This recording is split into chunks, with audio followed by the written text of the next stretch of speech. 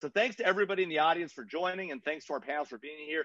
And in particular, uh, thanks so much to the uh, the sponsors of this event, uh, the National Security Law Journal uh, and the International Law Journal at George Mason University's Antonin Scalia Law School, who, along with NSI, are hosting this event. Um, I'm Jamil Jaffer. I'm the founder and executive director of NSI. And I'm really pleased to have just a terrific group of panels here today uh, to talk about uh, the topic of trolls and polls, the dangers and risks of misinformation. And by the way, for the audience, we're not going to just talk about misinformation. We're going to talk about, about disinformation and about fake news and about its impact on elections. This is one of a two uh, two series of events. I will be having another event at this same time uh, next week uh, to talk about some of the things we might do about these. We'll talk about things we should do about uh, these issues here today, uh, but we're going to jump right into the conversation about what's going on, why is it happening, how is it happening, and maybe some things we might do about it. So uh, let me start with our panelists though and describe who they are because we've got we've got a terrific panel. Uh, I'll start first uh, with the Honorable Susan M. Gordon. Sue currently serves as a director for CACI International, E3 Federal Solutions, and as an advisor to Pallas Advisors, Primer AI, and the Draper Richards Kaplan Foundation. In addition, she works as a consultant at Microsoft and as a contributor to CNBC. From 2017 to 2019, Sue served as the principal deputy director of national intelligence in the office of the director of national intelligence, and previously served as the deputy director of NGA from 2015 and 2017, and served for 27 years, almost three decades, in the CIA, rising to senior executive positions in each of the agency's four directorates. So we're really pleased to have you with us today, Sue. Uh, Nikolas Guggenberger uh, Nikolas is a clinical lecturer in law and a research scholar in law and the executive director of the Information Society Project at Yale Law School. His research focuses on the intersection of law and technology, specifically platform regulation, privacy, automation of the law, and the future of private law. He's particularly interested in artificial intelligence and algorithmic governance. I already know what that is, but I'm interested to hear more about it. Uh, Nikolas has uh, frequently advised government entities uh, served on, as expert witnesses and on advisory committees, mainly on matters re- relating to financial technology, financial markets regulation, digital policy, and media law. And last but certainly not least, Lisa Kaplan. Lisa is a visiting fellow uh, at NSI. She's a founder of the Alethea Group. Uh, and her, the goal of the Alethea Group is to help organizations navigate the new digital reality and protect themselves against the very thing that we're talking about today disinformation. She previously served as digital director for Senator Angus King's reelection campaign in 2018, where she designed and executed a proactive effort uh, to, to defend against and understand disinformation campaigns. She's among the few people who can share firsthand experience from the campaign trail on these exact issues. She previously worked as a consultant with PricewaterhouseCoopers, the U.S. Department of State, and served as an aide in the U.S. Senate. So uh, great to have you all here with us. Uh, Sue, Nikolas, uh, uh Lisa, what an awesome group uh, to talk about uh, trolls and polls and disinformation. So let's just jump right in, if y'all don't mind, into the conversation. Um, you know, look, I think the key thing that I've sort of thought about is, you know, ever since the 2016 elections, we've all talked about, you know, fake news and disinformation, misinformation, and the role it's played in undermining our confidence in the election system, the results of the election, our elected leaders, uh, the rule of law, rule of law institutions, the FBI, the DOJ, the intelligence community. You know, I'll start with you, Sue, because you you were there, um, uh, you know, in ODNI uh, during the 2016 election. How big a role do you think that fake news, uh, misinformation, disinformation really played in the 2016 elections? Um, I'm going to say less than in 2020. You think so? So your yeah. your view is that, that, that it's it's going to be worse this year yeah. than it was four years ago, and it was pretty bad four years ago. Let's be candid. Yeah, no, it was. Listen, there is there is no doubt that particularly Russia um, was actively working to influence slash interfere and you know we're intelligence officers so we have arcane distinctions between those two interferences in the election infrastructure itself influences in trying to shape the opinion. So we have good data on that. Um, you know i don't think there's anything that's happened over time that makes us look back at the 2016 assessment and say that that we didn't have that right. Um, and it was purposeful and it was directed from from the top uh, and it was pretty broad spectrum. Um, i don't think we had any ability to make an assessment uh, of whether it it affected the outcome um, but it was almost that first foray that was big enough for us to see it and having happened now everyone's got the hint that this is a pretty good modality to go after right.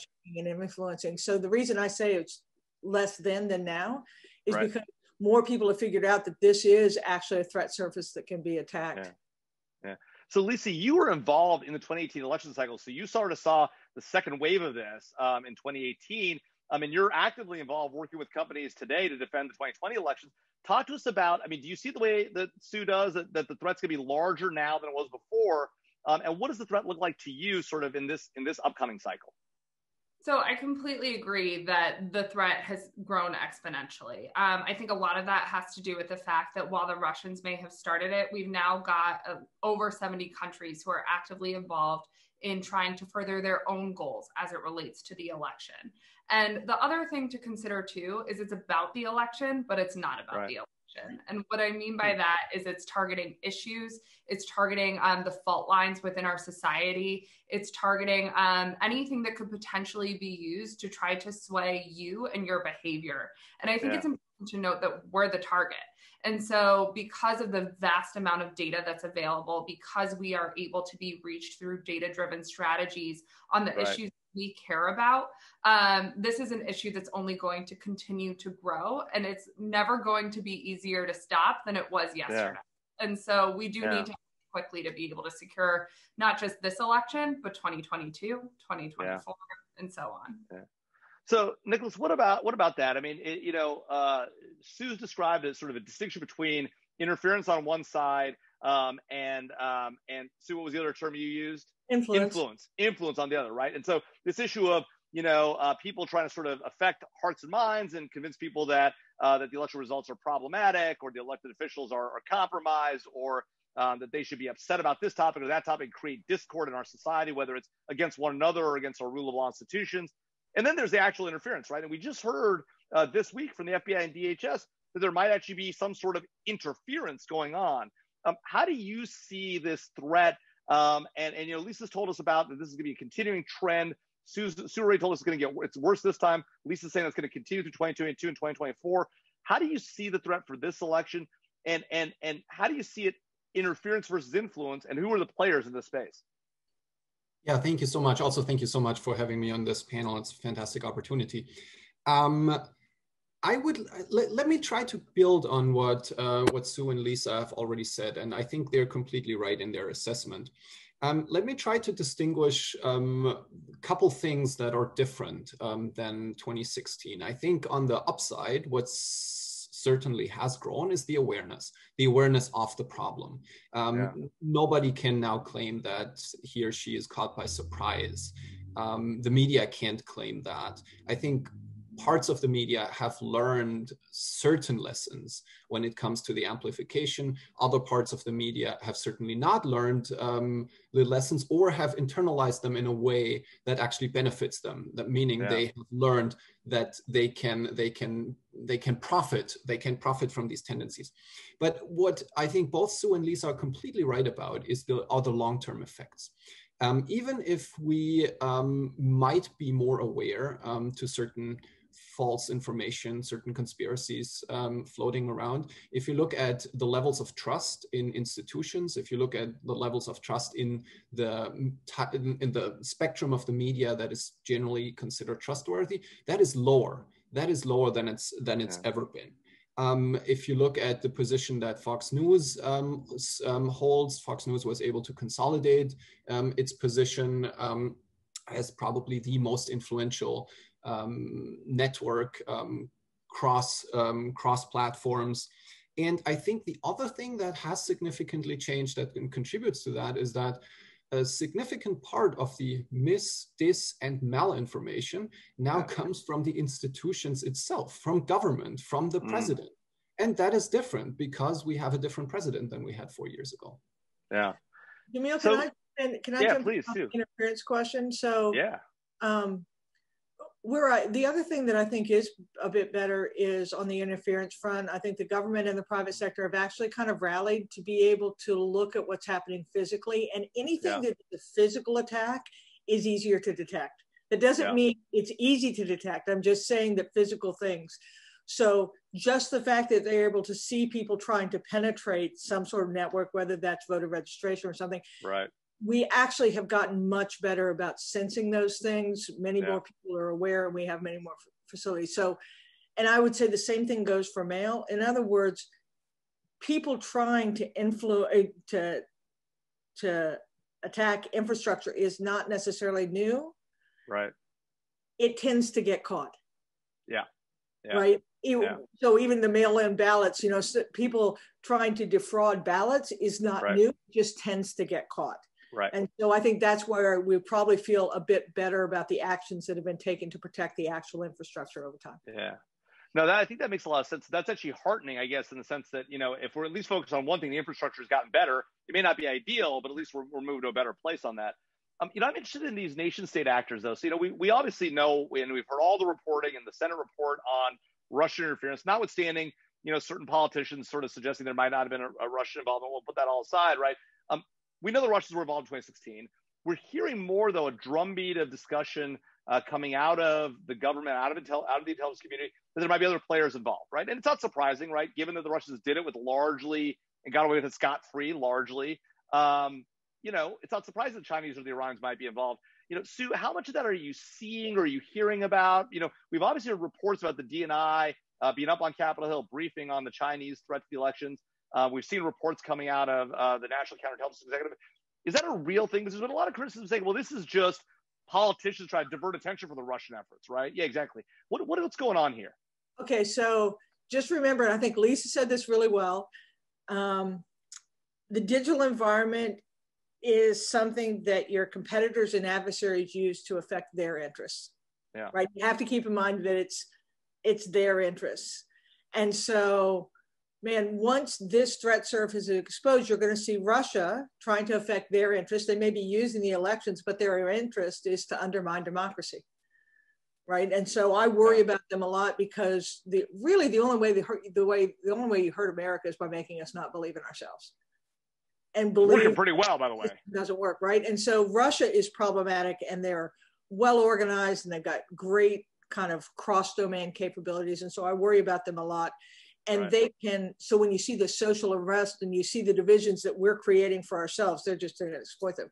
China's got a different interest, and that is no less interest in achieving theirs, but those tend to be a little right. more economic, their kind of dominance. And so you're going to see them either trying to get information that advances their position or get people in place that are going to be favorable to their policies.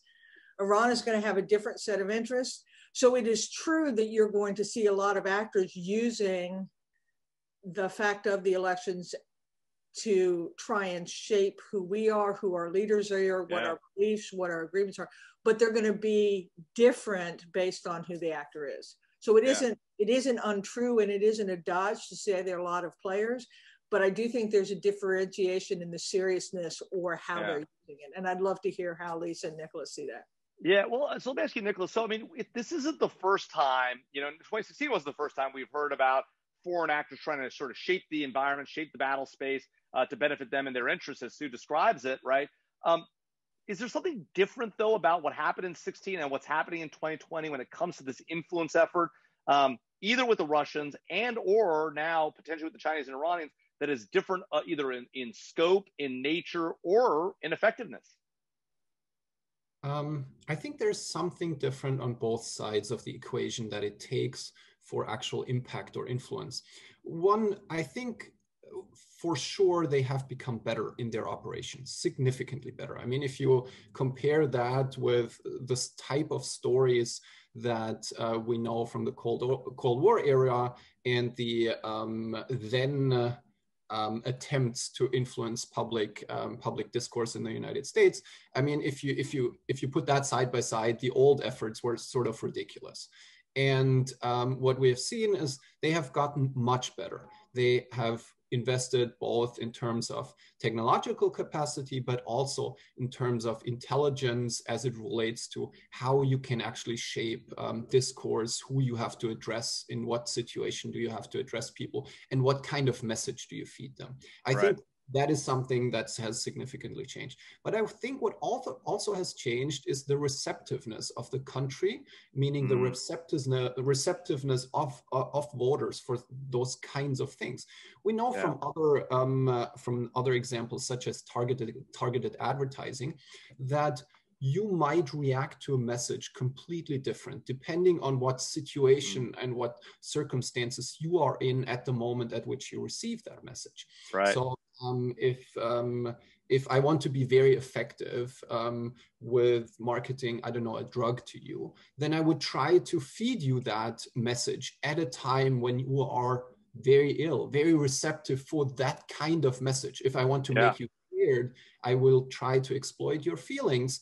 And what do I need for that? I need to know about your feelings, and then I can be more more effective. Now, if we if we stick with that and try to think about well what is the what is the most receptive nature of a society to absorb these kinds of um, these kinds of false messages this kind of disinformation well yeah. it is a very polarized society for example it is a sure. very tribalist political environment it is an environment of high inequality and i think if you look at uh, if you look at that then um, the climate of 2016 as well as the climate of 2020 very much matches this um, yeah. well i don't want to call it ideal because obviously it's not ideal but ideal for the, for the reception of uh, misinformation and disinformation.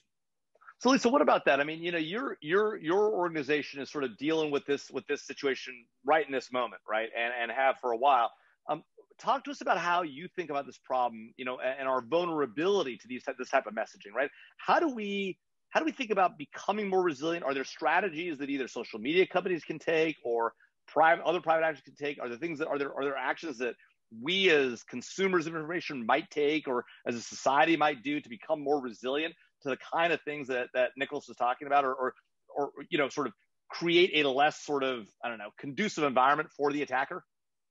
So absolutely, there's a lot more that we could be doing that yeah. we're just not, and we need to start taking some serious action. So the way we think about disinformation is it is targeting us as citizens and trying mm-hmm. to influence our behavior. So in the case of an election, it's really targeting two key decision points: whether or not to vote and for whom to cast your ballot.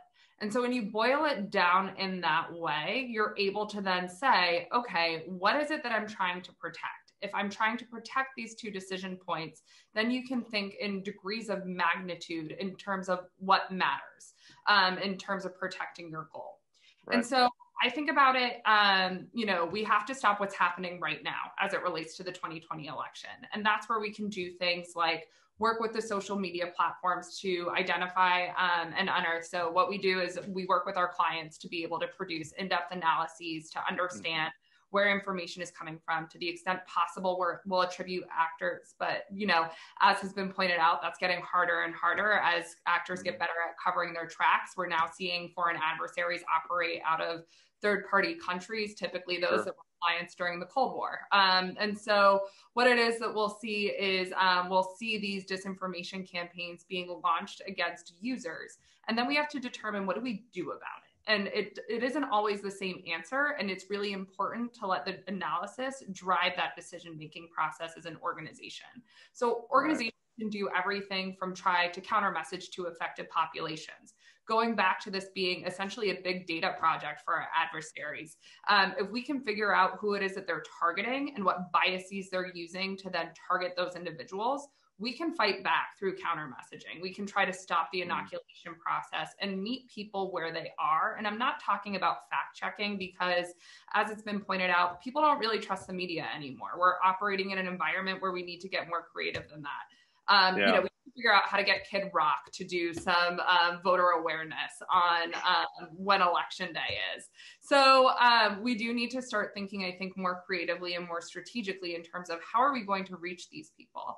Um, yeah. We also need to demand more from the social media platforms. Um, you know, it's not their fault that this is happening, but it's happening on their turf, and so we need yeah. to demand more in terms of transparency for users and an investment in additional um, preventative measures, which has yet to be taken.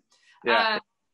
And then the other thing that we need to do is also um, be able to realize that the the adversaries know where the lines are and what the authorities are for government. Um, and so that means, you know, they're doing things like amplifying individuals who have First Amendment protected speech to say whatever it is that they want to say. But that mm-hmm. doesn't mean that they have the right to then go viral with false information. Mm-hmm. Um, and, you know, we've seen some steps um, about some social media platforms are trying to take steps to address this. But my question is always, why are you trying to take steps in October when you've known this is coming for the last four years? Right. As users, there's a lot we can do to protect ourselves as well. So if we know that disinformation is targeting us, that means we are empowered to not let it. And so if yeah. we can think critically, if we can understand that if a story that we're being shown from a random blogger from a URL we've never seen before, maybe we should trust that less than what's gone through editorial review. Yeah. Doing simple things like approaching your social media feed the way you approach um, reading a newspaper, looking at the author, the date, what publication are you reading, that can go a long way. And the last thing I'll say is our adversaries are also relying on us to enable their operations. And what I yeah. mean by that is they want us to share disinformation because people tr- in our networks, and when I say our networks, I mean our friends, our family, our communities, they trust us. And if so, we don't play into that and we don't share things that aren't true, if we don't send it, even if we're trying to call it out and say, hey, I'm retweeting this just to let everybody know that it's fake, that is actually increasing its relevance within the algorithm so that that right. piece of content gets shown to other people. So yeah. the best thing you can do to protect yourself and your community is to not share disinformation and to report it through platform measures as you see it. It'll take a while for the platforms to actually get around to detecting yeah. it, but um, do your part, I would say, in protecting yourself against yeah. and your communities against disinformation. So that's really helpful, and those are some interesting ways to think about the problem, and in particular, the way you think about my, maybe your own role in that process. Um, you know, Sue, one of the things that Lisa talked about right at the beginning of her of her response to my question was about this uh, this sort of uh, differentiation between affecting whether somebody votes and who they vote for, right? Um, and I see that we have a question from from the audience. And by the way, for folks in the audience, if you have questions, feel free to put them in the chat now in the Q, in the Q and A function now. Uh, we'll either ask them along the way or we'll get to them towards the end at, at around the 40 minute mark.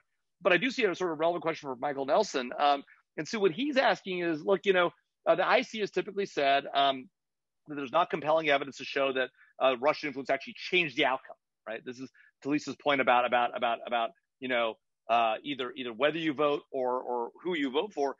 But what Mike Michael points out is that Kathleen Hall Jamieson, who's at University of Pennsylvania, has done a study, you know, cited by Jane Mayer in the New Yorker, uh, which suggests that actually uh, there was vote suppression uh, by Russian disinformation that drove turnout down, perhaps among amongst minority communities, and that may have changed the results of the election. Have you looked at this question at all, and, and do you have any thoughts on this topic? Um, uh, either whether it's about specifically Kathleen Hall Jamieson and, and, her, her view of this, or more generally about the sort of distinction between whether you vote and who you vote for?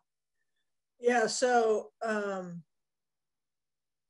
uh, so a uh, little tutorial on intelligence. Intelligence yeah. is just about about what is, and when you say you don't have evidence of it, what you mean is you don't have evidence of it.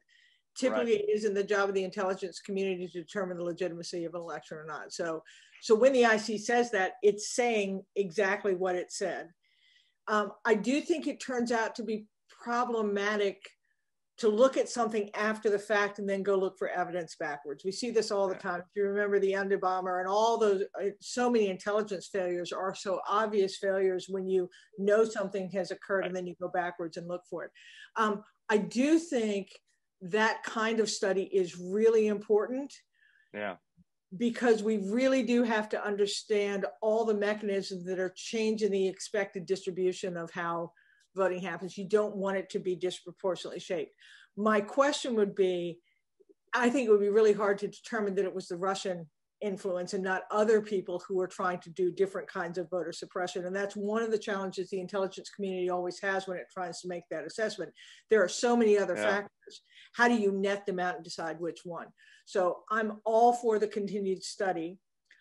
Yeah. I do think it is hard to look backwards and decide that something happened that changed it because there could be so many factors that went into it, not just foreign actors. Right. But that kind of work to look at what is artificially changing what would be naturally occurring is an important right. element of what we're trying to distinguish. Right. So and how to distinguish between between what might have otherwise happened and what happened as a result right. of the influence, right? That's the challenge. Right. And so that's what's so interesting about this whole misinformation, disinformation. It's it's not what's good and bad, what's right and wrong. It's about what's naturally occurring and not naturally right. occurring. Right. Right. Right. What so, so, shaped and influenced. Yeah, you know, on on a related point, uh, you know, Nikolas, um, uh, Katie Flynn asks uh, about a point that Lisa was raising about what the platforms are doing. Um, how does the refusal by Twitter and Facebook to allow factual information, for for example, from the New York Post, I presume that uh, Katie's talking about the the Biden story. Um, how does that uh, sort of lead to distrust of the media? We know uh, from a Gallup poll in late September um, that uh, upwards of 60% of our population, um, you know, doesn't uh, doesn't trust uh, the the media, right? So 27% trust the media not very much, and 33% of the American public trust the media not at all. And I'm talking about mass media, but still an astounding number. To your point about Fox News, right? Um, does does does does efforts that are ostensibly well intentioned, I, know there are people who don't believe they're well intentioned, right? But ostensibly well intentioned to try, try and address disinformation. How does that? How did those efforts?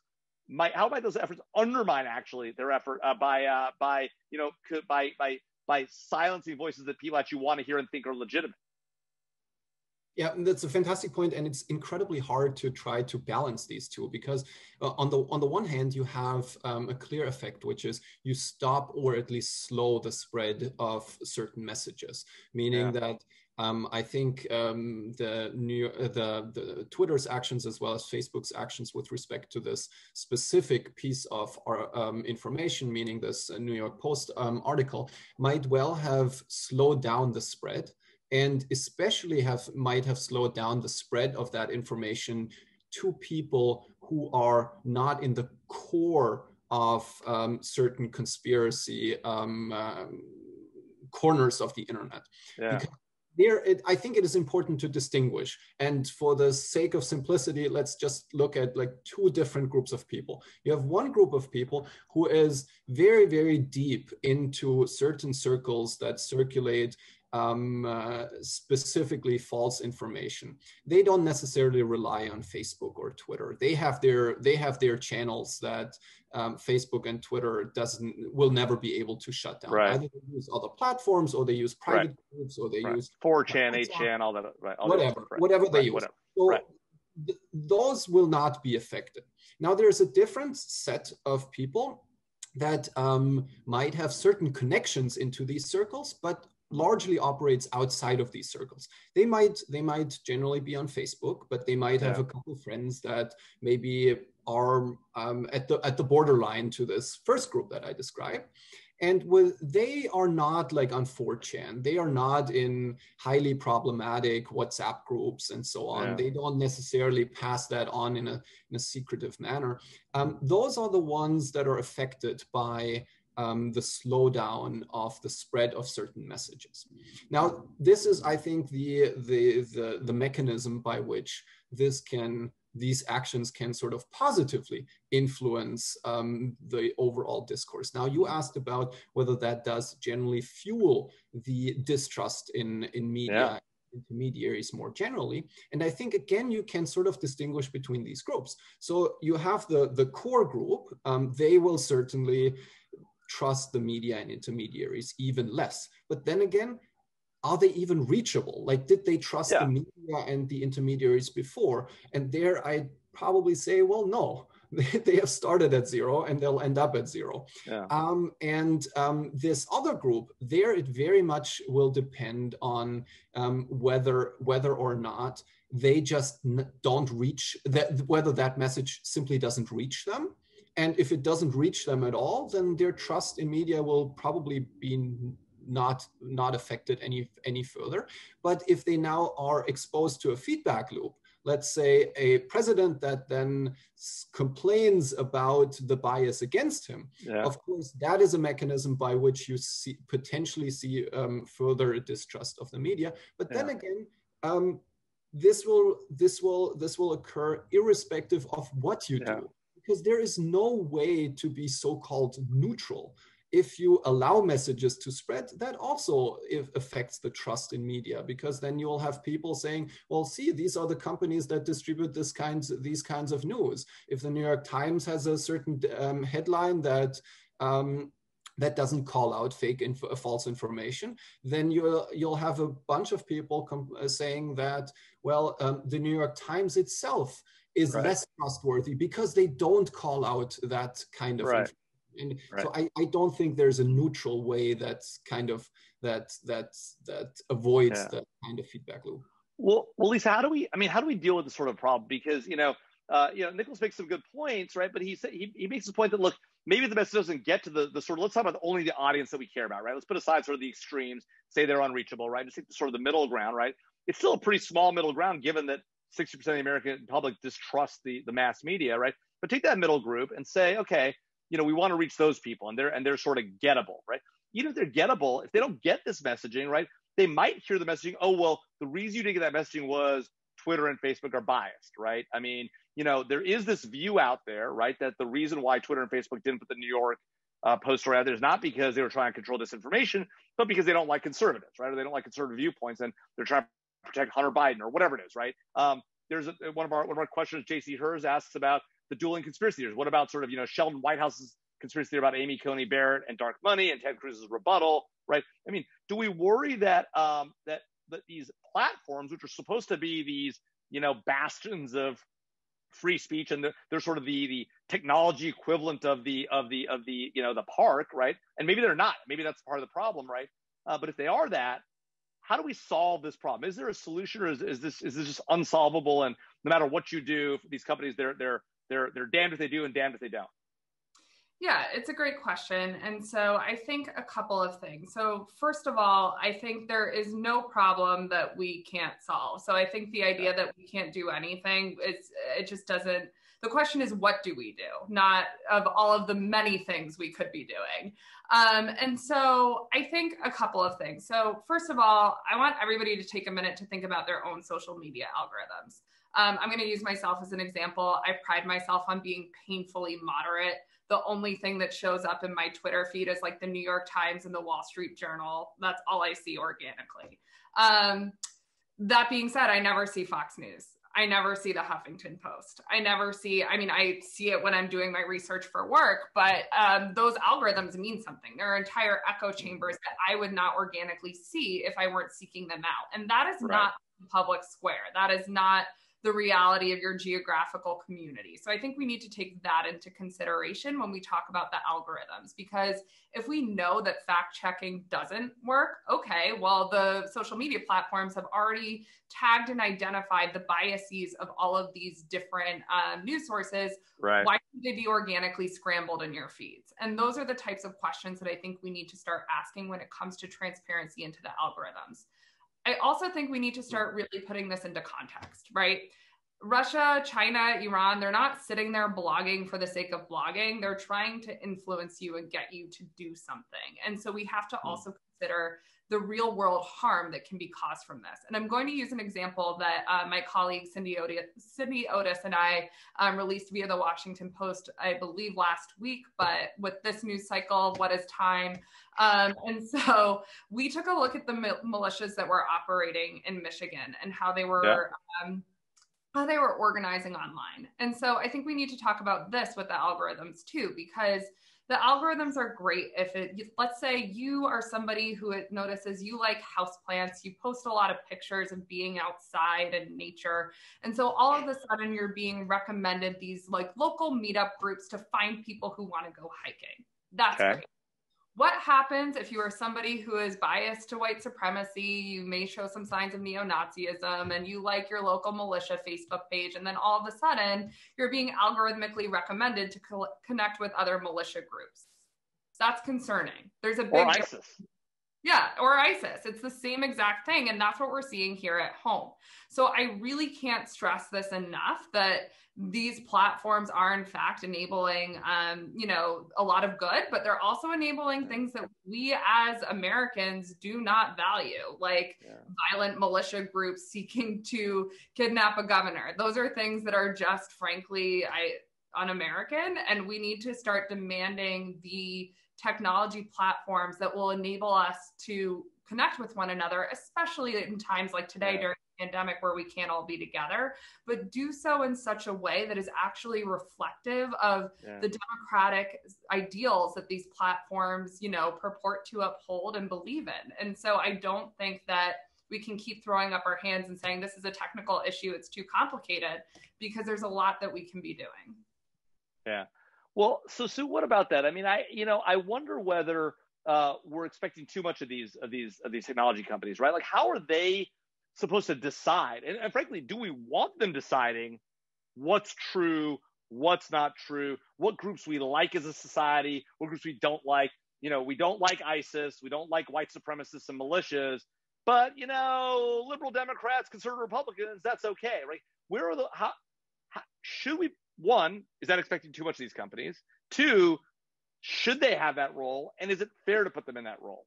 I realize it's a lot to ask of somebody who just came, you know, who came out of the government not so long ago. But I mean, that is sort of where the government's headed. We've sort of shifted that role to somebody else. Is that is that the, is that their job? Should it be their job, Sue? Oh, you're on mute. You know, I just gave the most brilliant answer, and I can't. I know it's so great. We missed it. um, uh, let's see. That was a, like a, a, a serious and multi-part question. So I don't think we can put the genie back in the bottle about the government being the the the sole arbiter, the sole controller of good, bad, or our safety, yeah. right? That that that went away when we got this digital world where it came to each one of our doorsteps and we could each have our fondest dreams and we were able to do things that were delivered to us at speed that the government couldn't keep up with in terms of regulating. Like I remember when I started, the government was the one that created the sensitive technologies and we knew they were sensitive because we were creating them and so we protected them we put things around that isn't what happens anymore so you know these companies it is legitimate for them to bear some responsibility for what's happening via their platforms i just i right. that's just a true statement um, also realistically our processes to create statute and policy are way too slow to be the sole mechanism that we have in order to change our behaviors. Um, I do think there's a distinction uh, that I make between something that's legitimate and something that's illegitimate, something that's authentic and something that's not authentic. So okay. we do have laws that protect certain kinds of speech and certain kinds of un-American behavior, right? And so that should never be allowed. I don't care whether it's on um, a social media platform or not. So that's just a category to itself. Right.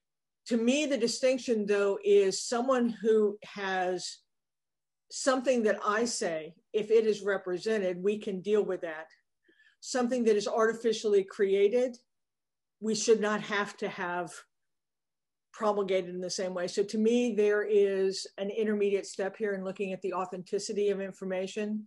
Okay um, whether that is someone who legitimately could proffer something, because then you can assign it. And if I know where the information came from as a yeah. human and at, quite frankly as a machine, I have more opportunity to decide for myself whether okay. I think yeah. it's a legitimate source. So I think there's something there in terms of authenticity that yeah. can help us, but the companies have got to own part of it, and then the government's got to catch up to doing its part. Yeah. So Nikolas, does that does that approach make sense? Does it does it make sense to sort of you know it's it's like sort of the political ads approach, right? If you know who put it out there, you know who's funding it, right? At least that gives you a sense of where it comes from. I mean, you can decide how much credibility to assign it, right? Is that is that the right approach? Uh, you know, um, and I noticed that uh, we got. Don't you think if we had known, if we had been able to identify what was happening in 2016 as Russian, if it was obvious that someone had said this is a Russian source that is saying this to you and is telling you that what's going on in Ferguson, Missouri, Oh, don't oh, yeah. you think that humans sure. be able to say, go, wait a minute? Sure. The problem, of course, though, right, Sue, is that, is that we know the Russians are now operating through whether you believe it's through Rudy Giuliani or through you know American Americans that they get to sort of hold up signs. Is the the the social yeah. media companies decided that there was sufficient skepticism that they were going to act. So I do think this yeah. notion of understanding where it originated does help people distinguish whether it sounds true or whether it doesn't. So, so Nikolas, Sue, has got a, a, a, what I think is a reasonable approach to sort of the stuff that we know is directed by the by the opponents. But what about the point that Lisa made about you know um, Americans who are being rebroadcast and retweeted and and whose voices are being amplified by Russian bots and trolls and the Chinese bots and trolls, whatever. You know, uh, do we? How do we? How do we solve that problem? Because that problem, you know, there are a lot of Americans who, you know, there always have been Americans who believe in conspiracy theories or have, you know, whatever problematic view you might think of. What happens when those voices are being amplified, made more prominent, being pushed to people who who it'll who it'll trigger? You know, do we worry about that? Oh, yes. And so, what do we do about it? Definitely, and do we, I, I think we need to worry about it. Um, I, I think I think to to start with, um, yeah. both what Lisa and uh, Sue suggested, namely um, enhancing transparency, signif- transparency significantly, um, is def- definitely desirable. Like there's no doubt about it that um, labeling um, certain posts and the or- origins of certain posts would make a lot of sense. It mm-hmm. would, I think, make a lot of sense to require um, any paid for post to be labeled as paid for explicitly and label it um, in terms of um, where it comes from. But then again, right. I'm not entirely sure whether that gets us all the way. Now, imagine you um, uh, you see a post and that is um, labeled as paid for by um, make up some group Americans for and then insert something. Um, now, that doesn't necessarily tell you whether or not that is a trustworthy source. And if it doesn't even tell you or me whether it's a trustworthy source, um, I'm not sure whether we can expect um, users that might glance over that to make uh, to make that distinction. On the other yeah. point, distinguishing between um, sort of foreign sources and and domestic um, sources of information, again, I'm not entirely sure whether we would, on the one hand, want to sort of establish different rules um, for um, foreign individuals posting information. Um, I'm not a US citizen, um, for just as an example, but at the same time, I don't know whether we would want to treat information that I post on Twitter different than information that um, um, citizens post on, on, on Twitter. Um, and I'm not sure whether whether whether that distinction in itself uh, in itself might help. What I think could help is fundamentally tweaking the or changing the incentive structures for platforms. So far, platforms just have an incentive to create as much engagement as possible up to what I'd call the, the boiling point, right? They, they have an incentive to tune up the to tune up the incentive to tune up the engagement as far as possible mm-hmm. and then they step in just before it boils over that's a that's a sort of pattern that you see especially facebook following over the last couple of years yeah. um, facebook was happy with alex jones and, and until it was just not bearable anymore. Uh, and then they and then they stopped it. Facebook was happy um, and made millions of dollars um, indirectly with the through the engagement that was created by QAnon and um, and supporters. And then at some point, it just didn't. It just wasn't bearable anymore, and they basically had to shut it down. And yeah. what I think what could help is to try to change these underlying incentive structures? Is it really healthy that our entire digital public sphere rests on engagement um, affiliated funding? Is, is, is that really is that really healthy? Now, I'm not saying I have like the golden solution to that, but um, if we look into the area before um, before the digital public sphere, before um, social media, we still had engagement um, affiliated funding or advertisement funding as one of the major sources, but there was also different, there were different types of funding. Um, mm-hmm. available as a percentage of the funding of the entire digital uh, of the entire public sphere and i think that is a shift that is somewhat somewhat unhealthy and um, amplifies um, bad incentives incentives that only um, lead platforms and um, intermediaries to look for one thing and one thing only, and that's engagement. Yeah, no, that's that's that's really interesting. So, so you know, one of the one of the sort of incentive based uh, you know challenge I think that we face in this space is this issue about Section 230. It's been a hot topic up on Capitol Hill quite a bit. Uh, we just saw the president uh, talk about it recently. Uh, we saw the FCC chairman uh, say that he's going to look at Section 230, and DOJ's put out some guidance. Um, you know, Lisa, I'm interested to know how you think that uh, this protection, not described for the audience, to the they're not aware of it, Section 230, essentially part of the Communication Decency Act from 1996, uh, provides uh, liability protection for uh, platform companies who create this, you know, sort of a communications forum, so they're not liable for what's posted on their sites. Um, and and I, that's that's again, I, I, know as a lawyer, it's, it's it's not it's not really great to summarize, but since I'm a recovering lawyer, I'm gonna get I'm gonna get away with it um, and take take sort of the, the moderator's privilege. But there's a lot of talk about about changing 230, creating some additional liability. Um, uh, you know, one of our questioners, uh, Kelly Casolas, asks, uh, you know, how does that play in here? Uh, do you think that uh, Congress should take action to amend it? Um, another one of our uh, questioners asks, you know, a related question about, you know, Michael Nelson asked about, you know, what about what about uh, you know European laws like Net uh, NetzDG, uh, which where they where they fine internet companies, they don't remove hate speech. Um, what do we think about about sort of these incentives, right? Is there is there a way to modify the incentives, take away the carrot of liability protection, add some potential liability in lawsuits? Is that is this an appropriate approach uh, to addressing this problem? And if so, what is what should it look like?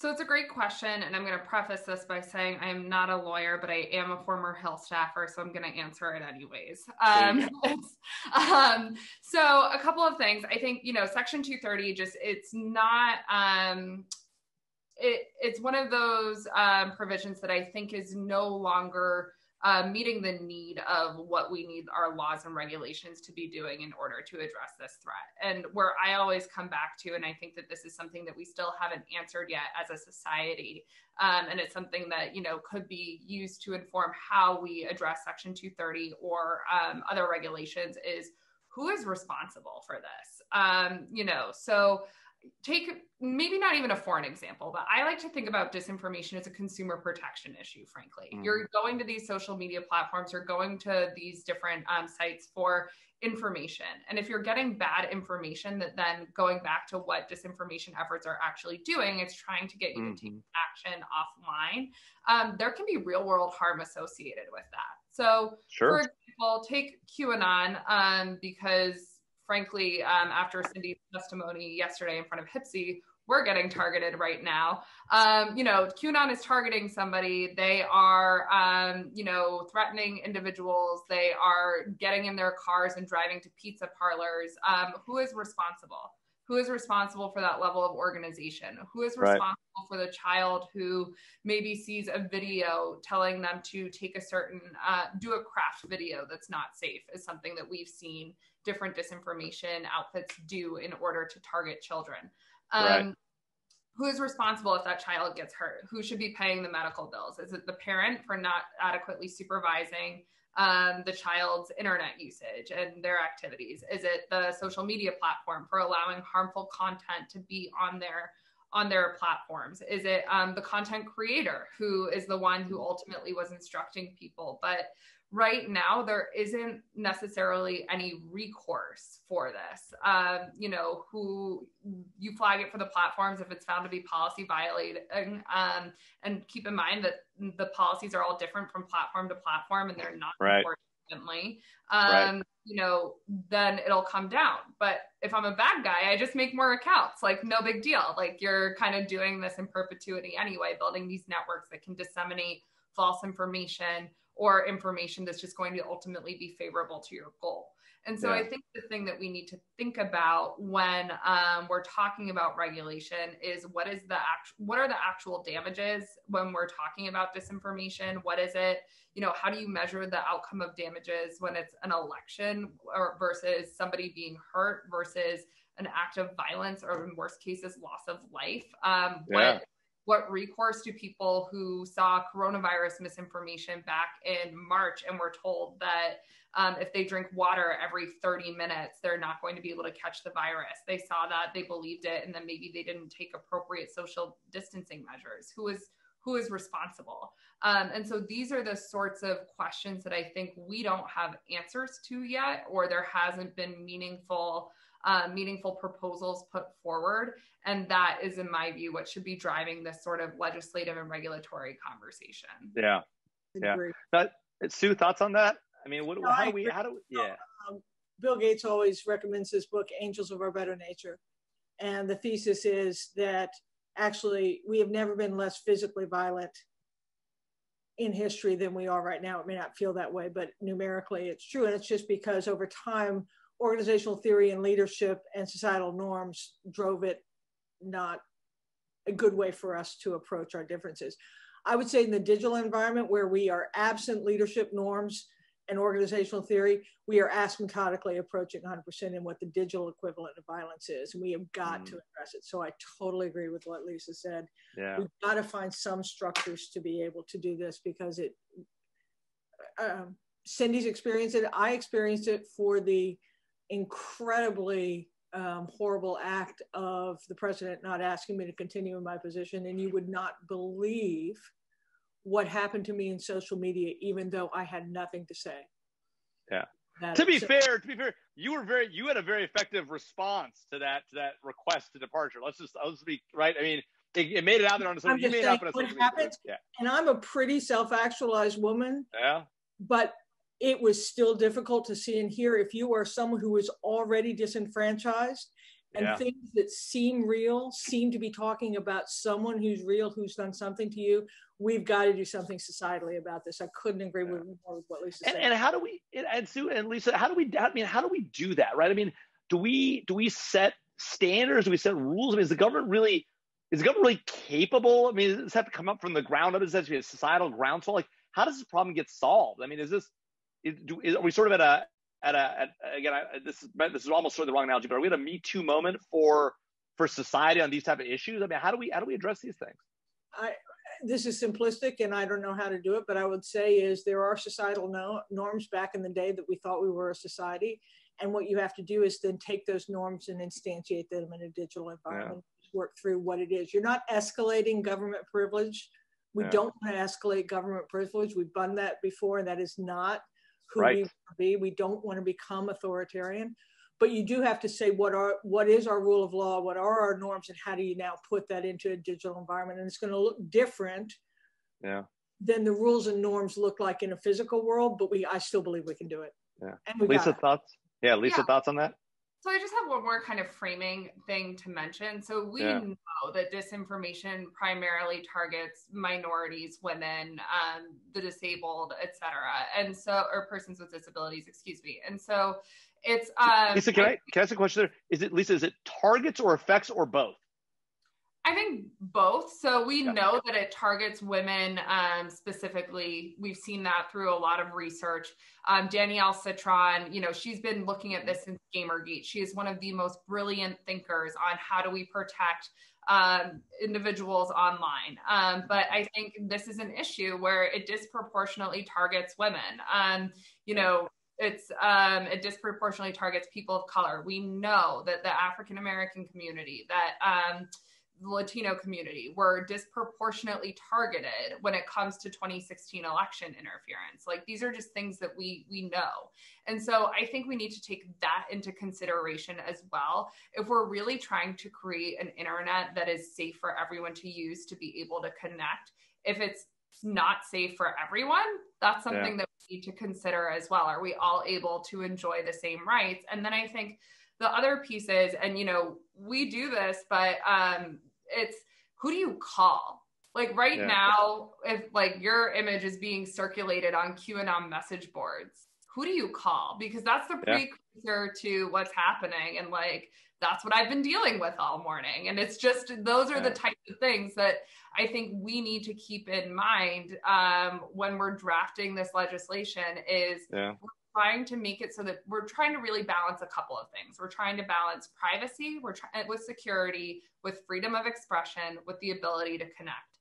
And it's going to be hard to get the right mix, but the nice thing is that these can be dynamic solutions. We have to start somewhere because right now, this continued period of inaction has made it so that the social media platforms are, in effect, writing their own rules like arbitrating against their own rules and then enforcing whatever punishments there are or whether or not there is a punishment deplatforming only goes so far so yeah. i think that's what we have to be thinking about yeah yeah so nikolas what about uh, you know one of our one of our uh, uh, commenters one of our questioners asked about you know uh, this this point made by Sophie Zhang, one of the, a former Facebook data scientist, right? That you know she had seen a lot of attempts by foreign national governments to abuse the Facebook platform to mislead their own citizens. Uh, she's personally made decisions to enforce that that, that have affected national presidents, uh, taken action to enforce against so many prominent politicians she lost count.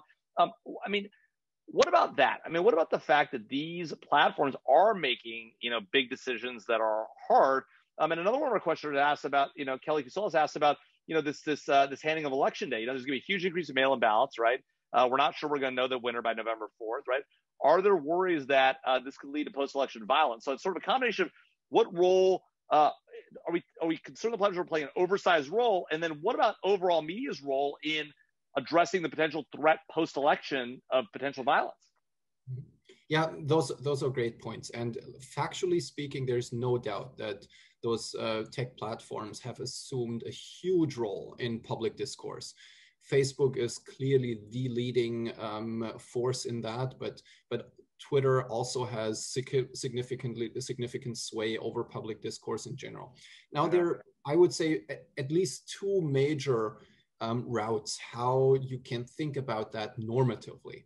Uh, there are people who say, well, they have assumed a very powerful position. And what we now need to do is we now need to establish certain processes that um, ensure the legitimacy of their power. Um, that is a view that um, treats those platforms all, almost like governors um, governors of speech and says, well, if they have that powerful position, then we need to build up these mechanisms, these procedures that their decisions are in fact fair. There's yeah. another stray, I think, to which I'm to which I am uh, personally um, uh, feel more closely connected, and that is to say, well, if they have that strong of a position in society, then that position itself is the problem. We shouldn't yeah. necessarily focus on making their decisions internally fairer or well mm-hmm. we should maybe also do that but this shouldn't be this shouldn't be where we that shouldn't be the basket in which we put all our eggs we should acknowledge that as a problem in itself that they have to become too powerful now i think they have to uh, they have become too powerful um, both in the market, meaning meaning vis-a-vis other media outlets. Um, it is not healthy for a public sphere if more or less uh, the entirety is dominated by one, two, or four companies. That is just not healthy. And mm-hmm. I think they have become too powerful vis-a-vis the state, vis-a-vis the regulator. And there, I think we need to have a very fundamental debate about a revival of um, the regulatory state and government within the within within the digital environment. If um, you look back to where where that basically started, that started with the endorsement um, or the sole endorsement of the private sector to mm. lead. That was under the um, that was um, sort of sort of quoting Bill Clinton here on this on his rules on e-governance in the 1990s. Um, and, and, that worked well for for for a while. Why did that work well? Because you had a a dynamic, striving market with with lots of alternatives, not with single players that dominated the entirety of public discourse. That has changed. We see incredible levels of concentration among platforms, and mm-hmm. these concentrations have led to shifts of power. Um, concentrations of private power. And I think that is something that needs to be fundamentally addressed and rebalanced. Yeah, well, I think we've got time for probably one more question, so I'll, I'll, I'll leave it with you. Sue. you'll get the last word. So Paul Drury, one of our questioners, asked uh, whether uh, the State Department Global Engagement Center is, was currently responsible for leading U.S. government response to state and non-state propaganda. Is that the right place for the mission? Is the State Department the right place, and is that office the right place for this mission in the U.S. government?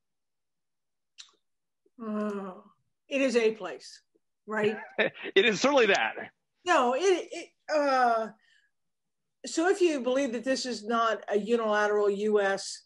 position and there is a huge role yeah. for for having free and open societies have this conversation, because yeah. I will tell you, amongst our allies and partners, this same concern is amplified many yeah. times over because they have smaller populations that are more susceptible and, and it's it's a, a real common concern.